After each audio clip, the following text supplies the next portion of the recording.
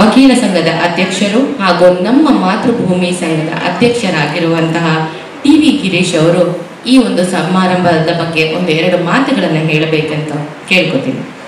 ವೇದಿಕೆ ಮೇಲೆ ಆಸೀನರಾಗಿರುವಂಥ ಎಲ್ಲ ಗೌರವಾನ್ವಿತರೆ, ಈ ಕಾರ್ಯಕ್ರಮ ಯಶಸ್ವಿಯಾಗಲು ಸಹಕಾರ ನೀಡಿದಂತಹ ಮತ್ತು ಹಾಜರಿರುವಂತಹ ಎಲ್ಲ ವಿದ್ಯಾರ್ಥಿಗಳ ಶಿಕ್ಷಕರನ್ನದವರೇ ದಿನ ಒಂದು ಅರ್ಥಪೂರ್ಣ ಕಾರ್ಯಕ್ರಮ. ಚಕ್ಕೆರೆಯ ದರ್ಶನ್ ಗೌಡ ಅವರ ಹುಟ್ಟುಹಬ್ಬದ ಸವಿ ನೆನಪಿಗೋಸ್ಕರ ಇವತ್ತು ಬಡ ಮಕ್ಕಳಿಗೆ ಮತ್ತು ತಂದೆ ತಾಯಿ ಇಲ್ಲದ ಮಕ್ಕಳಿಗೆ ಪುಸ್ತಕ ಮತ್ತು ನೋಟ್ಬುಕ್ಗಳು ಮತ್ತೆ ಪೆನ್, ಪೆನ್ಸಿಲ್, ಏನು ಕಿಟ್ಗಳನ್ನು ವಿತರಿಸುವಂಥ ಕಾರ್ಯಕ್ರಮ. ನಿಜವಾಗ್ಲೂ ದರ್ಶನ್ ಕುಟುಂಬದವ್ರಿಗೆ ಮೊದಲಾಗಿ ನಾನು ಅವರಿಗೆ ಅಭಿನಂದನೆ ಹೇಳ್ತೀನಿ. ದರ್ಶನ್ ಗೌಡ ಇವತ್ತು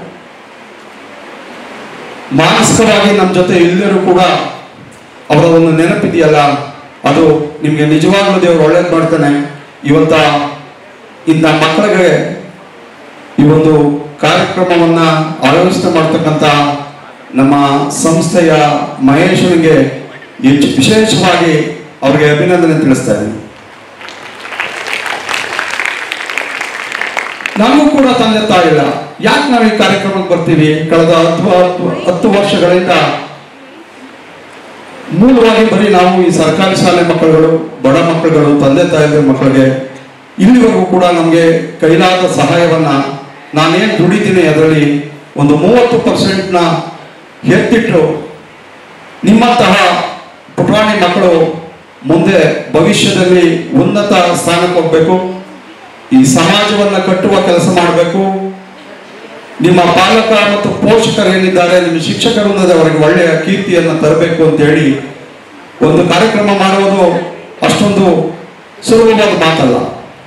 ಇವೆಲ್ಲರೂ ಕೂಡ ಇಲ್ಲಿ ಅತಿಥಿಗಳಿದ್ದಾರೆ, ಮುಖ್ಯ ಅತಿಥಿಗಳು ವೇದಿಕೆ ಮೇಲೆ ಕೂತಿದ್ದಾರೆ. ಅವರದೇ ಆದಂಥ ವಿಶಿಷ್ಟವಾದ ನಮ್ಮ ರಂಗನಾಥ ಗೊತ್ತು.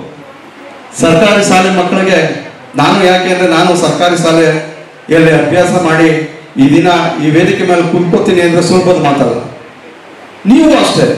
ಇದು ಏನೋ ಕಾರ್ಯಕ್ರಮ ಮಾಡಿದರೆ ಬಂದು ಹೋಗೋದು, ಏನೋ ಹೇಳ್ತಾರೆ ಕೇಳೋಗೋದು ಅಲ್ಲ. ಶ್ರಮ ಮಾಡಿ. ನೀವು ಯಾವಾಗ ವಿದ್ಯೆ ನಿಮಗೆ ತಲೆ ಎತ್ತದೆ ನಿಮಗೆ ಅಂದ್ರೆ ಪಂಚಾಲಿಟಿ ಇರಬೇಕು ಟೈಮ್ ಸೆನ್ಸ್ ಇರಬೇಕು ಎಫರ್ಟ್ ಇರಬೇಕು.